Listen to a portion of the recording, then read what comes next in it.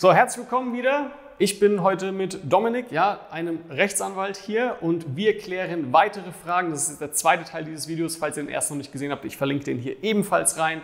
Ja, und da könnt ihr euch gerne Sachen zur Persönlichkeitsrechtsverletzung anschauen. Wir machen jetzt direkt weiter mit den nächsten Fragen, nämlich das Brautpaar gibt jetzt die Einverständnis nicht. So, das ist natürlich für uns Fotografen, Videografen oftmals ein Problem, weil wir können sie jetzt nicht mehr für unsere Marketingzwecke, wenn man so sagen kann, nutzen. Ist es erlaubt und möglich, dass man dann dem Brautpaar sagt, okay, wenn ihr uns nicht die Veröffentlichungsrechte gebt, ja, ihr willigt nicht ein, dürfen wir den Preis erhöhen. Zum Beispiel sagen wir, ja, es kostet dann 10% mehr. Also der Punkt ist, solche Themen sollten tunlichst nicht nach Fertigstellung ähm, des Videos besprochen werden, sondern möglichst am Anfang. Deswegen umso wichtiger, da eine, eine, Grundlage, eine saubere vertragliche, rechtliche Grundlage zu haben, wo drin steht, das darfst du, das dürfen wir, dafür bist du verantwortlich, dafür bin ich verantwortlich und das kostet der ganze Spaß. Ähm, weil was man natürlich unbedingt vermeiden sollte, ist, dass man hinterher dasteht mit einem Video und sagt, boah, das, das würde sich super machen auf meiner Webseite, aber ich darf es nicht, beziehungsweise ich habe es damals nicht geklärt, jetzt traue ich mich nicht zu fragen oder ich habe ein Nein bekommen, ähm, dann, dann ist es leider so. Also ähm, wenn das Brautpaar allerdings im Vorhinein schon sagt, nee, ich möchte nicht, dass du das nutzt, ähm, klar, dann kannst du, da ist es sogar sinnvoll, den Preis äh, daran festzumachen, dass man sagt, okay, wenn ich es aber nicht auf meiner für Werbezwecke nutzen darf, dann kostet es aber so und so viel. Das macht definitiv Sinn, da mit dem Preis hochzugehen. Also vielleicht sollte man es auch schon im Vorgespräch äh, vielleicht das ansprechen. Ja, ja, klar, klar. Das ist halt eine Verhandlungssache. Ne? Wenn man sagt, das Video kostet, keine Ahnung, was kostet ein normales Video? Also im Durchschnitt 2000 Euro. 2000 Euro, so und dann hier ist der Vertrag, okay, passt alles, aber ich möchte nicht, dass du es nutzt, okay, alles klar, kein Problem, dann kostet es 3000. Dann kann es natürlich sein, dass sie sagen, äh, nee, dann suche ich mir jemand anders. Ähm, deswegen ist es an der Stelle da vielleicht sinnvoller, das so taktisch klüger vorzugehen und zu sagen, alles klar, den Preis, den gucken wir uns dann an. Das hängt auch so ein bisschen davon ab, ähm, womit es zusammenhängt, ähm, was die, äh, der Aufwand ist, wie viele Drehtage, wie viele Postproduktionstage und so weiter. Aber grundsätzlich klar, der Preis ist ja, ihr könnt festlegen, was ihr wollt. Der eine verlangt 2000, der andere vielleicht 10.000. Ähm, der eine sagt, ist, Testimonial ist für mich wichtig, der andere sagt, ist mir eigentlich egal. aber den Preis kann man immer selber festlegen, wie man es möchte wenn wir schon von taktisch klug sprechen, also es wäre auch erlaubt zu sagen, okay, wenn ihr mir das gebt, die Einwilligung, dann kriegt ihr einen Rabatt. Klar, das ist taktisch viel schlauer, verhandlungstaktisch, dass man sagt, okay, ich verstehe, was sind denn eure Bedenken, so eine kleine Einwandbehandlung, was, was wollt ihr denn nicht, ja, äh, am Ende, es wird keiner jetzt, ihr seid verheiratet, ist doch total schön und was gibt es für mich für ein besseres ähm, so besseren Moment, als das irgendwie mit, mit anderen Brautpaaren noch zu teilen, zu zeigen, wie schön sowas aussehen kann. Wenn wir das machen, kann ich euch nochmal 200 Euro beim Preis entgegenkommen. Klar, total smart. Okay, super. Also ist das generell alles erlaubt, weil da habe ich ja. die wildesten Sachen schon darüber gehört. Okay, sehr gut. So, das Brautpaar macht jetzt das äh, Gebrauch von Vergessenheit. Mhm. Sie sagen, ja, sie wissen nicht, dass sie dem Ganzen zugestimmt haben. Mhm am Anfang klären, was sind die Rahmenbedingungen, was ist, also äh, was muss ein Vertrag enthalten? Den Preis, ganz wichtig, damit es nicht Diskussionen hinterher gibt, so, ah, ich dachte aber so, so, das zahle ich jetzt nicht. Und äh, was ist die Leistung? Ein Video, so und so viele bearbeitete Fotos oder alle rohen Fotos, unbearbeitet, so. Das muss geregelt sein im Vertrag und ähm, dann ist es eigentlich, da kann der Fall nicht passieren. Okay, also solange man einen Vertrag hat, easy. Ja. Okay. Weil das ist nämlich der Punkt, ich sehe so viele Hochzeitsfotografen und Videografen da draußen rumrennen ohne Verträge. Die sind der Meinung, alles kann so auf, ja, man ist ja cool mit dem Brautpaar und es wird schon alles und dann passieren genau solche Geschichten dann natürlich. Also verstehe mich nicht falsch, ne? es be bestimmt funktionieren viele, viele Hochzeiten so auf diesem Handschlagprinzip. Absolut. Äh, und das ist auch völlig in Ordnung. Ich, ich komme immer dann ins Spiel, wenn es schiefgelaufen ist. Deswegen habe ich vielleicht auch so eine bisschen verschobene Wahrnehmung irgendwie, weil ich halt nur die Fälle kenne, wo es schiefgelaufen ist. Das ist wie so ein Arzt, der halt immer nur die, die Unfälle abbekommt. Und ähm, deswegen, die meisten erkennen so, dass sie was machen müssen, wenn es halt einmal schiefgelaufen ist. Und vor allem, wenn es ans eigene Geld geht. Dafür ist der Vertrag wahrscheinlich das, die wichtigste Grundlage. Wenn ein Brautpaar sagt, nee, finde ich jetzt doof, das Ergebnis, ich bezahle jetzt nichts. Ähm, und dann hat man nichts, was man irgendwie in dem Richter vorlegen Ja, aber das lese ich ja wöchentlich. Ja. Wöchentlich stehen solche Sachen in diesen Facebook-Gruppen da kommen wir auch später noch zu konkreten Fällen, ja, dass dann das Brautpaar nicht keine Lust hat zu zahlen. Ja, was jetzt? Ja. Aber okay, da kommen wir noch später dazu, deswegen. Mhm. Reden wir über das Thema Anzahlungen. Ja, mhm. gerade in Zeiten von Corona extrem wichtig, ja. Aber hier ist es generell erstmal die Frage, ist das erlaubt? Und wenn ja, welche Höhe? Also der Punkt ist, ähm, wir ähm, gehen davon aus, dass ein Videoproduktionsvertrag ein sogenannter Werkvertrag ist, kein Dienstvertrag, das mal vorneweg. Und ähm, bei einem Werkvertrag, ähm, wenn man den schließt, man kann eine Vergütung festlegen, die man, für, die, die man selber sozusagen für sinnvoll achtet. Ich habe Profi-Fotografen, Star-Fotografen gesehen, die haben sechsstelliges oder siebenstelliges Honorar. Ähm, das kann man auch vertraglich vereinbaren. Also man kann im Prinzip jede Summe da äh, reinschreiben erstmal. Ähm, und natürlich kann man auch eine Anzahlung bezahlen. Das Thema Anzahlung hängt so ein bisschen zusammen mit, dem, mit der Frage, wie kommt denn das Brautpaar wieder raus? Du hast gerade Corona erwähnt. Ähm, vielleicht trennt sich ein Paar, vielleicht ähm, hat eine Location zu. Ich hatte den Fall heute gelesen, ein anderer Fotograf, die wollten einen anderen Fotografen. Ja, ja die, die Möglichkeit gibt es tatsächlich beim Werkvertrag grundsätzlich mal zu kündigen, aber für schon erbrachte Leistungen, für die wird, muss man vergütet werden. Das war beim Fernsehen auch relativ häufig. Es kommt der Sender hat keine Lust mehr oder irgendwie Produktionsfirma kann nicht liefern und dann die Frage, was wird bezahlt. Ähm, da sollte man ähm, eine Argumentation parat haben, dass man schon bestimmte Leistungen erbracht hat. Ein Vorgespräch, vielleicht hat man ein, ein Moodboard oder ein Storyline oder irgendwie sowas geschrieben, hat vielleicht schon Vorgespräch ähm, auch länger vorbereitet. Ähm, und allein für den Fall ist es schon gut, wenn man sagt, ich mache eine 50% Anzahlung. Verlange ich bei Buchungen und das Geld habt ihr erstmal. Das Geld ist erstmal bei euch. Es ist immer schwieriger, dem Geld hinterherzulaufen als äh, Geld irgendwie zurückzubezahlen. Und dann habt ihr es erstmal und dann könnt ihr erstmal sagen, nee, sorry, das ist der Deal, 50% Anzahlung, das entspricht auch meinem Aufwand, weil 50% ist jetzt, sage ich jetzt mal unter uns, ja, in diesem Kreis, sieht ja keiner dieses Video, ähm, ist es vielleicht hochgegriffen, 50% für den Aufwand, weil der eigentliche Hauptaufwand natürlich am Hochzeitstag stattfindet und vielleicht dann danach. Aber so what? Ich würde mal sagen, das ist halt einfach äh, der Aufwand. Ihr blockt ja diesen Termin auch für andere. Das heißt, ihr steht für andere Hochzeiten dann nicht zur Verfügung und ähm, deswegen 50% Anzahlung meine absolute Empfehlung. Okay, das finde ich so krass, was du sagst, weil da habe ich schon wieder das Wildeste gehört, man darf nur 5% nehmen oder was auch immer. Ja gut, das ist dann die Frage bei der Kündigung, aber ähm, wir machen ja hier ja, also ich bin Interessenvertreter, ja, und ähm, ich vertrete keine Brautpaare, sondern ich vertrete nur ähm, Unternehmen und ähm, viele davon haben irgendwas mit, mit Mediengestaltung, Medien, äh, Fotos und so weiter zu tun. Und deswegen sage ich einfach, ähm, es macht Sinn, sich da auch wirtschaftlich abzusichern und eine Anzahlung zu nehmen. Ähm, dann, wenn ein Prozess ins Haus steht, ja, dann meldet ihr euch, wenn es soweit ist. Dann kann ich euch dann immer noch sagen, zahlt was zurück oder nicht. Aber es ist immer leichter, schon mal das Geld zu haben und dann vielleicht zurückzahlen zu müssen, als dann zu sagen, wenn es ja. abgesagt wird, nee, ich kriege jetzt aber noch so und so viel, Katastrophe. Also da geht es auch um Taktik. Da kommen jetzt zwei Fragen. Und zwar Nummer eins, muss man das dann umbenennen? Also darf man es dennoch Anzahlung benennen? Oder sollte man es lieber Präproduktion oder Terminreservierungsgebühr nennen? Ja oder nein, das ist die eine Frage. Die andere ist aber, ja, du hast es vorhin nämlich erwähnt, ähm, man muss ja dann separate Leistungen, sag ich mal so, ausweisen. Also das in der Anzahlung steht ja, wir haben ja das Moodboard, keine Ahnung, Vorgespräch oder Telefonat geführt oder ähnliches, ja, und dafür nehmen wir die Anzahlung. Muss man das vertraglich ausweisen oder reicht es, wenn man nur Anzahlung reinschreibt oder wie sieht es da aus? Bezeichnung ist völlig egal. Ja. Anzahlung ist fein. Ihr könnt es nennen, wie ihr wollt. Ihr könnt auch sagen, keine Ahnung, Lösegeld. das, das, ist wirklich egal. Ähm, nein, also Scherz. Anzahlung macht auf jeden Fall Sinn. Ähm, Anzahlung, Klammer auf 50 Prozent, Klammer zu. Ähm, und dann macht es in der Tat Sinn, schon für den Fall, ja, wenn es später Probleme gibt, schreibt das schon mal rein. Vorgespräch, Vorbereitung, Planung des Drehtages, ähm, äh, Erstellung des Konzeptes und ähm, Vorbereitung des Materials oder so.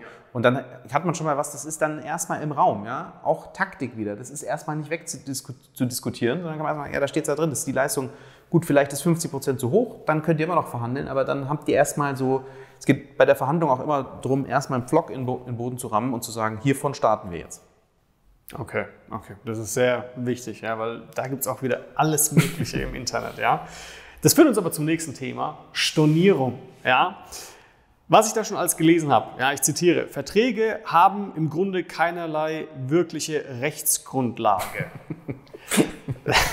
wenn es um die Stornierung geht. Stimmt das? Naja, also wie gesagt, wir sind im Bereich des Werkvertrags. Vielleicht ganz kurz, was ist ein Werkvertrag und was ist ein Dienstvertrag?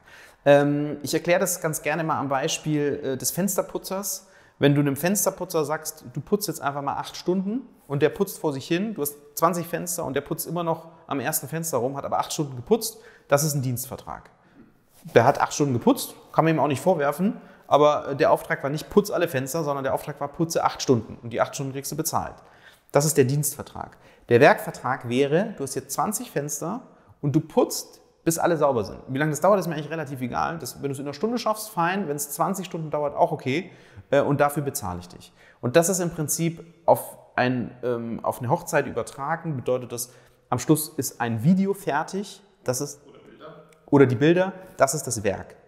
Ähm, wenn ihr nur einen Fotografen oder einen Videografen abstellt, der irgendwie halt da ist, Fotos macht und es dann irgendwie abgibt, das wäre ein Dienstvertrag wird aber faktisch kannst du hier von einem, von einem Werkvertrag ausgehen. Werkvertrag kannst du kündigen ähm, als sozusagen Auftraggeber, als Hochzeitspaar, als Brautpaar und ähm, dann geht es im nächsten Schritt eben, also ja, man kann kündigen, das ist mal die eine Sache. Ähm, das heißt aber nicht, dass jetzt Mitvertrag schlechter ist als ohne. Mitvertrag ist nie schlechter als ohne, sondern dann hat man immer eine Grundlage. Die Frage ist dann nur, was von der Vergütung, die in dem Vertrag drin steht, kann ich denn verlangen? Und das, daran schließen wir, sozusagen können wir an das anschließen, was wir bei der vorhergehenden Frage besprochen ja, haben. Es wurden schon Leistungen erbracht für Anzahlungen so und das muss vergütet werden. Ich habe den Termin geblockt. Ich kriege den Termin nicht anderweitig. Das heißt, ich habe auch einen Schaden, ich habe einen Ausfall. Nur weil du jetzt sagst, ich will nicht mehr, dann führt es dazu, wenn man natürlich am selben Tag einen anderen Auftritt bekommt oder einen anderen Auftrag, dann sieht die Lage wieder anders aus. Das wäre tatsächlich die nächste Frage, die ich ja. gehabt hätte. Da sieht es wieder anders aus, weil wenn man tatsächlich dann sozusagen keinen, keinen Schaden hat, sondern an diesem Tag äh, arbeitet und keine Ausfälle hat, dann wäre es wiederum nur die Vorbereitungstätigkeit. Die ist ja schon erbracht. Und die kann man, finde ich, gesagt, 50 Prozent sind mal 50 Prozent. Ja, da muss man auch gut, vielleicht sind es nur 20 am Ende oder 10 oder die gesetzlich vorgesehenen 5. Aber das ist eine Vermutungsregelung. Ja? Das ist eine Vermutungsregelung, die der Gesetzgeber da in 649 BGB eingefügt hat. Ähm, das heißt, wenn tatsächlich mehr Aufwand stattgefunden hat, dann muss auch mehr Aufwand vergütet werden. Punkt. Okay, also es ist nicht festgelegt auf fünf. Okay, weil das, ah, das ist alles so wichtig einfach. Ja. Okay, das heißt, Brautpaare können zu jedem beliebigen Zeitpunkt einfach kündigen. Grundsätzlich ja, aber wie gesagt, Anzahlung, es muss, die Vergütung muss klar sein. Ihr habt den Termin geblockt, ihr habt Vorarbeiten erbracht, das muss bezahlt werden. Punkt. Okay, denn das ist jetzt auch schon die nächste Frage natürlich. Also ich habe zum Beispiel in meinem Vertrag natürlich auch stehen, drin stehen so, so eine Staffelung an Stornogebühren. Ja, zum Beispiel, wenn es jetzt eine Woche vor der Hochzeit ist und die sagen, ja, nee, wir lassen uns scheiden, dann steht bei mir zum Beispiel drin, ja, ich möchte aber dennoch 90 Prozent der gesamten Summe. Darf ich das nehmen? Darf ich das nicht nehmen? Also das Problem ist, wir sind hier im Bereich B2C, also im Verbrauchermarkt. Ja. Ähm, da ist alles etwas strenger als im B2B-Markt. Ähm, wir machen ja auch viel ähm, so in, zwischen Unternehmen, da ist alles etwas, kann man einfach mehr Schindluder treiben, sag ich mal. Ähm, diese Storno-Regelung reinschreiben in den Vertrag kann man alles. Ob das dann am Ende, wenn es vor Gericht ginge, halten würde, schwierig. Mhm. Deswegen, ich würde mich da nicht zu sehr in juristische äh, Diskussionen vertiefen. Man kann das alles reinschreiben. Ähm, faktisch halte ich es für sinnvoll, wirklich eine Anzahlung zu nehmen und einzutreiben und zu sagen, vorher ist der Termin nicht fix. Ja, daran kann man es nämlich auch knüpfen. Der Termin ist nicht geblockt, wenn ich die Anzahlung nicht bekommen habe. Ähm, ansonsten ist der Termin noch frei, weil dann habe ich einfach rein faktisch, Jura hin oder her, rein faktisch habe ich dann eine Situation, wo ich sagen kann, ich habe jetzt erstmal das, ich bin in der stärkeren Position, weil ich schon mal die Hälfte meiner Vergütung habe und nur die Frage ist, muss ich was zurückzahlen oder nicht. Das ist viel besser, als zu sagen, ich kriege 90 Prozent, habe aber 0 Prozent und muss dann zum Anwalt, muss dann vor Gericht, habe dann, vielleicht hat der Bräutigam den Job verloren, ist pleite, muss Insolvenz anmelden. Und das sind einfach faktische Probleme, die jenseits des juristischen halt ähm, mindestens genauso schwer wiegen. So, so gern ich meinen Job mag, oft ist es einfach auch so Theorie, dass man sagt, in der Theorie wäre es jetzt so, aber einem nackten Mann kannst du, kannst du nicht in die Tasche fassen und dann, wo es nichts zu holen gibt, gibt es nichts zu holen. Okay. Ja, das ist nämlich so tatsächlich passiert. Ich habe das nämlich auf Facebook gelesen, hatte nämlich schon, ich habe letzte Woche eine Stornierung von einem Brautpaar reinbekommen, welches heiraten wollte. Die beiden haben 50 Prozent bereits angezahlt und bei normaler Stornierung muss man 50 Prozent bezahlen. Also die Anzahlung bleibt auch drin. Jetzt haben die beiden angeblich mit einem Anwalt gesprochen, der aber meint, das Ganze ja, gilt Geld nicht, weil AGB und BGB, das wäre nicht konform. Ja, das Brautpaar hat jetzt als Absagegrund genommen, sie wollen anderen Fotografen haben. Wie sieht es denn da jetzt aus? Das ist genau der Punkt. An der Stelle müsste man sagen, ja, ist alles schön und gut, such dir einen neuen Fotografen, aber wir hatten ein Vorgespräch, ähm, ich habe den Termin geblockt, ich weiß noch nicht, ob ich den, ob ich den anderweitig ähm, los, also nochmal unter die Leute bekomme, vielleicht Corona, ja, was weiß man, wie es mit Hochzeiten weitergeht. Ähm, wir hatten einen Aufwand, ich habe ein Konzept äh, erstellt, wir haben äh, mehrfach gesprochen, telefoniert, das muss irgendwie vergütet werden. Ähm, klar, 50 Prozent ist ne, unter uns schon für den Aufwand sehr hoch, weil der Hauptaufwand wird der Dreh sein und die Postproduktion. Ähm, da kann man dann theoretisch nochmal, äh, ja, kann man was nachlassen, aber ich würde erstmal, erstmal würde ich da auf dem Standpunkt bleiben. Und wenn es wirklich dann so ist, dass, die, dass es mit dem Anwalt losgeht, dann kann man sich äh, auch als, als Foto- oder Videograf anwaltlich beraten lassen und dann überlegen, okay, zahlt man was zurück oder wie geht man damit um? Darf ich als Fotograf oder Videograf einfach kündigen? Ähm, ja, theoretisch ja. Ähm, du, du darfst kündigen und sagen, okay, pass mal auf, ich, ähm, ich möchte das jetzt nicht mehr äh, fortführen. Ähm, allerdings musst du dann auch damit gefasst oder darauf gefasst sein, dass du halt die Anzahlung dann auch zurückbezahlen musst.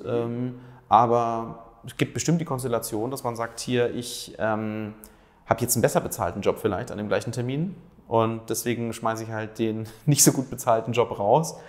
Ähm, da wird faktisch wird äh, nichts großartig passieren, weil äh, welcher, welches Brautpaar wird sagen, ich verklage jetzt den Fotografen äh, darauf, dass er meine Fotos und meine Videos an der Hochzeit macht, sondern im Zweifel, ähm, ja, wenn man die Vergütung zurückbezahlt, sagt, sorry, ja, ich äh, kündige jetzt hier das Vertragsverhältnis. Ähm, da gibt es auch gesetzliche Vorgaben, aber rein faktisch ähm, wird da nicht viel passieren. Krass. Krass, weil ich glaube, das passiert ehrlich gesagt sehr oft. Ja? Ich glaube, also ich habe das schon oft mitbekommen jetzt von Brautpaaren. Die irgendwann, unser Videograf hat uns jetzt einfach abgesagt, grundlos, einfach so einen kurzen Zeiler, nicht nur Videografen, Fotografen, selbst Band oder DJ, ja, und man vermutet natürlich, okay, haben einen besseren Auftrag bekommen mhm. und deswegen ciao. Mhm. Und das ist einfach machbar. Ja, rein faktisch ist es so, wie gesagt, man müsste dann als, Braut, als Brautpaar, äh, es ist unrealistisch, dass das da in den Rechtsstreit mündet, weil als Brautpaar sagst du halt, ja, okay, dann war es halt ein Depp, dann suche ich halt einen anderen. Oder ist halt einfach so, ich kann jetzt nicht, nichts ändern. Was macht es für einen Sinn, äh, dann zum Anwalt zu gehen, 1000 Euro an einen Anwalt zu bezahlen, um dann einen Fotografen, der keinen Bock hat, dazu verpflicht, zu verpflichten, einen Job zu machen, der, also das ist einfach, es ist unrealistisch. Und deswegen kann man sich da, sag ich mal, relativ sicher sein. Äh, das ist jetzt natürlich ist eher eine Frage vielleicht des professionell, der, der professionellen Jobausübung. Ja? Wie, wie sehr halte ich mich als, als Fotograf jetzt an Verträge gebunden und wie sehr sage ich, ähm, wenn ich so, äh, Vertrag ist Vertrag, Pacta sunt servanda, wir haben gesagt, wir machen das, dann machen wir das. Ähm, aber da gibt es ja auch so viele Zwischenformen. Ja? Was würde ich an der Stelle machen, wenn ich jetzt Fotograf wäre oder Videograf und einen besseren Auftrag hätte und deswegen, äh, ich würde es halt irgendwie einvernehmlich machen. Ich würde nicht sagen, Kündigung, ciao, sondern würde sagen, leider, es gibt hier bei mir eine Terminkollision, die hat sich jetzt im Nachhinein herausgestellt, aber ich biete dir eine andere Variante an. Ja, das ist ein Bekannter von mir, der macht super Fotos, der hat an dem Tag auch noch nichts vor, der würde das auch machen. Können wir das Ganze nicht auflösen und der andere übernimmt, passt es? Ja, passt. Sehr schwieriges Thema aus meiner Sicht, aber teilweise wirklich notwendig. Also man kann ja auch erst später herausfinden, dass das Brautpaar vielleicht zu einem gar nicht passt oder ähnliches. Und dann ist ja eigentlich auch ganz gut, wenn man da selber aus der Sache rauskommen kann tatsächlich. Okay. Das war es wieder erstmal zu diesen Themen mit diesem Video. Das war jetzt Teil 2. Es wird noch einen dritten Teil geben, ja. Und ja, wir haben natürlich auch einen Vertrag vorbereitet. Den findet ihr unten im Video in der Beschreibung. Da gibt es einen Link und da könnt ihr euch natürlich auch euch rechtlich absichern über unseren Vertrag und diesen auch käuflich erwerben. Danke fürs Zuschauen.